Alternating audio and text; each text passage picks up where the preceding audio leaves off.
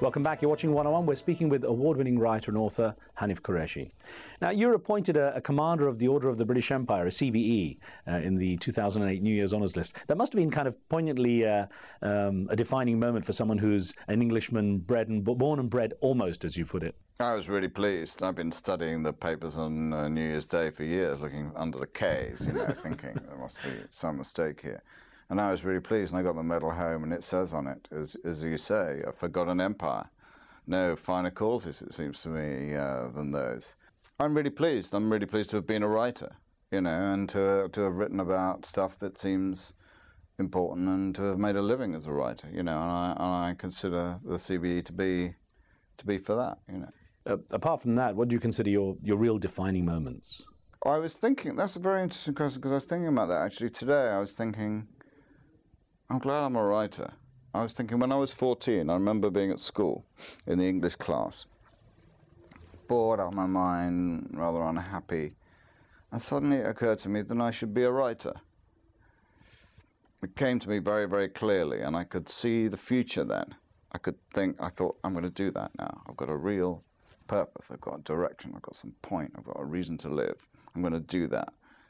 Um, and it'll bring me, if I do it well, it'll bring me a lot of rewards. So I remember that moment, and and it defined my life, thinking that, you know.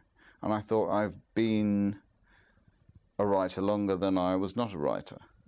Um, and people respect writers. The, uh, writers have some sort of uh, I don't know, gravitas or importance. They're artists. People like them. They want to hear them. They think they're intelligent, you know. And it, it's good to be thought about in that way. It's better to be thought about in that way than not to be thought about in that way, I have to say.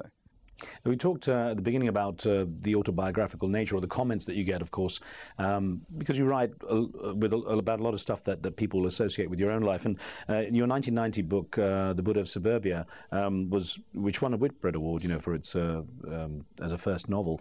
It, it, was considered very autobiographical at that time. There was a lot of backlash as well, though. There's a downside to it, isn't there? When you when you do associate yourself with the, the story in some way, um, I think your father was very angry with that, and even your sister then came out very publicly, and she was very you know, very um, sort of angry with the way you approached it. How do you, I mean, to what extent do you think about the, the consequences of when you write about something that may be perceived that way? Speaking is difficult. I mean, look at any country in the world. There are people in jail for speaking. There is always censorship. People are always afraid of certain words. And there are words that you can't say in, in, in some political systems. And there are some sentences you can't utter in families. And there are lots of things you can't say to yourself. So the whole world is in struggle, as it were, about what can be said, what can't be said, and what's the line, where can you cross it. And it's the things that can't be said or shouldn't be said that are always the most interesting because there's some danger, you know, attached to them. So, you know, like kids who are always testing you. Well, they want to know where the line is, what transgression is, when you're going to get angry, when you're going to lose your temper. So thinking about that um, has always interested me, and particularly with regard to my friend Rushdie, who had a fatwa put on him for the Satanic verses. What can be said? What can't we say?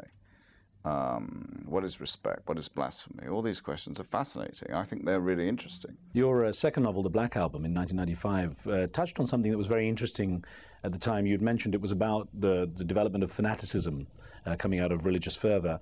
Um, it's been recently made into a, a stage uh, production when you look back, and that was a time which was pre 9 11, and it was a time when you know the, the, the environment for Muslims uh, was different too.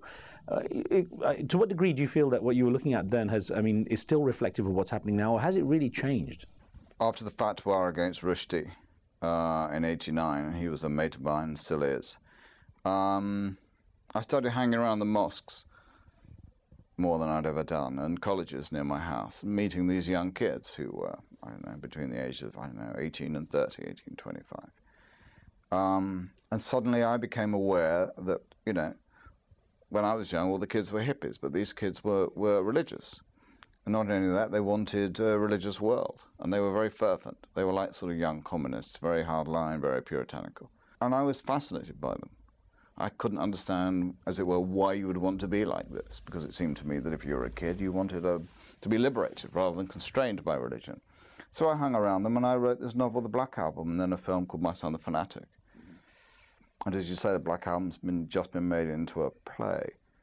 But I had access to them in the early days. They spoke freely, they were naive, they were idealistic, they weren't hunt, being hunted down, uh, they weren't seen as being terrorists then. They were idealists, they wanted to make a better world, they believed in this stuff. Um, it turned very, very dirty and nasty, as we all know.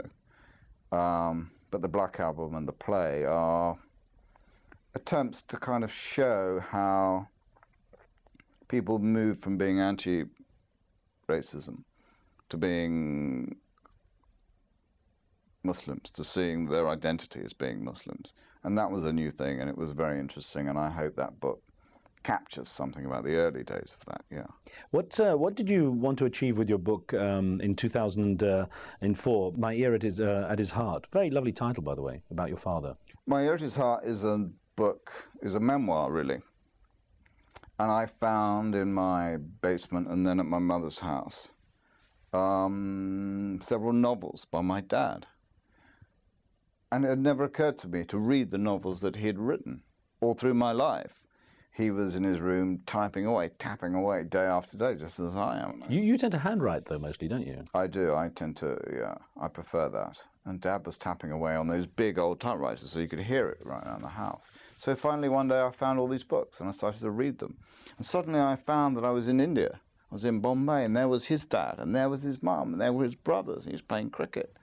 And suddenly you see, it's like uh, suddenly finding these films of your parents. You suddenly see, you've got this vivid picture of your own father's childhood. Um, and I was fascinated by this. And then my uncle Omar Kureishi, been, who was a journalist in Pakistan and a cricket commentator, um, and the manager of the Pakistan cricket team, had also written his autobiography. So I found all this writing about the Kureishis. And it made me think about writing and the questions you've asked me. What is writing? Why do people want to write? What can you say? What can't you say? Um, how do we become who we are?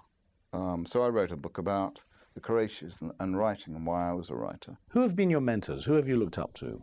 Well, my father taught me a lot about writing. Um, and then I met a man called Jeremy Trafford who worked for Anthony Blond, who was an editor. Um, and he used to come to my house when I was 15, 16 and teach me to write. A really generous, kind thing to do. He taught me a lot about writing. He would just sit with me and, and go through my writing, my novels. Uh, and I learned a lot about writing from the directors I've worked with, actually. Uh, from Stephen Frears, who directed My Beautiful Laundrette, Sammy and Rosie, Max Stafford Clark, who directed my early plays. All the directors you work with teach you a lot. Roger Michell, who directed Venus, The Mother, and The Buddha of Suburbia, because they've got to they've got to get the actors to say these words, you know. So they're very aware of the value of a word, of what a character does, of how you tell a story. Um, I'm a writing teacher. I've, I've, got a post at uh, Kingston where I'm professor of creative writing. I teach writing too. And there's a lot you can pass on. And there's a lot you can give to somebody else really quickly. Apart from the writing, you've done a fair amount of directing too. How did you take to that discipline? I'm no good at directing at all, really. I've got lots of friends who are directors, and they're really good at what they do.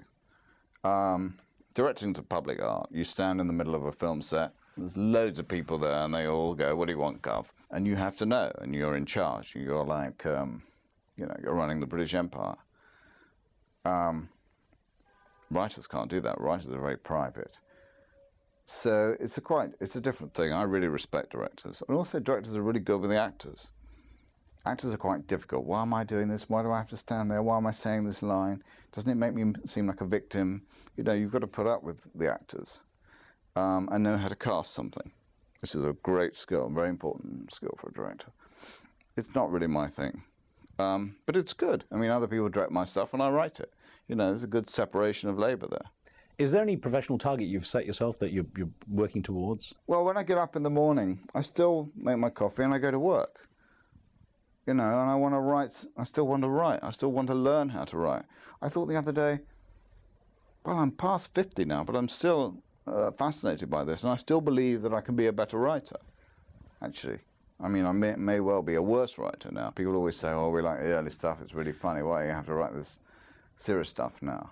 Um, but I still like to do it, I still want to do it, I'm still fascinated by it. Now, obviously, your, your body of work is going to is going to be there as a legacy for you. But how would you like to be remembered?